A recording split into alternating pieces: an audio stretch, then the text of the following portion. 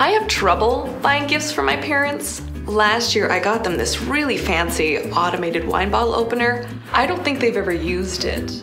My dad said to me recently, Honey, we don't really need anything. We're happy with what we have. Just your presence is enough. But we'll always appreciate a bottle of something tasty. So, I got them a nice bottle of sipping tequila. Something that this bartender from one of the hippest cocktail bars kind of turned me on to. Oh.